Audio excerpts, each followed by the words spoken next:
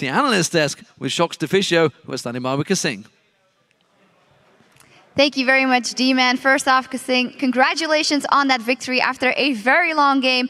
Let's break it down and start at the beginning because you guys got your hands on Kassadin. Um, the very first time we saw Selfie playing it, I believe, or the second time, and going pretty well. Did you expect to get those picks out of picks and bans, and how did it go overall? Um, we actually kind of expected Kassadin to be banned by them because last time Alliance, they left it open for, oh, I think it was, uh, it was Fnatic or Alliance, and we didn't, oh sorry, it was against SK, sorry. Uh, no problem. They, we didn't pick Kassadin, and then they thought that we'd just let them have Kassadin again. And uh, eventually, well, we decided that we'll stick with the Kassadin, and then we played it out.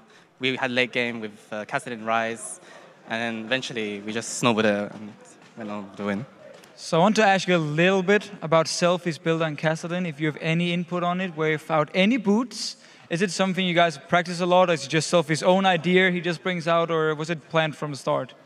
Um, since I'm a support, I, I never really comment on any other people's builds or what they build because maybe he needed a certain item before any he could do anything in the team fights because he really needed Zhonya's in the second team fight we had, and there was a having Zhonya's is like there's a huge impact that he can put out in a team fight.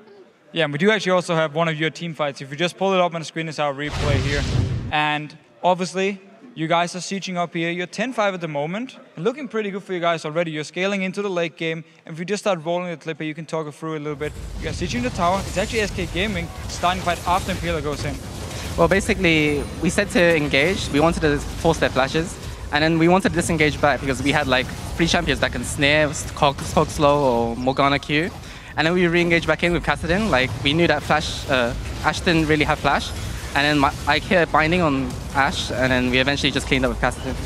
And what did you actually think about the comp from, from SK Gaming with Yorick, with Kayle, and of course the Ashe Zyra bot lane? We actually expected Freddy to go Kennen, because apparently Mama like looked at his rune pages before the game and then saw a Kennen rune page. Mm. And following up on that, of course, playing versus that Ashe, Zyra Tabs was tweeting how annoying it is. But you guys did decide to stay in the same lane as it. Why was that? Well, I, I think uh, Ashe Zyra is like the most annoying bot lane ever, like over K Caitlyn Nami, because Ash, Ashe can always poke you, and Zyra can always poke you at the same time with plants and Q. So, I don't know, we just played it safe. We didn't really go for any kills.